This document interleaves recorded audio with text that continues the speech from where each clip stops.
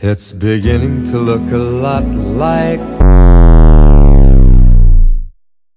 everywhere you go. Take a look at the five and ten. It's glistening once again.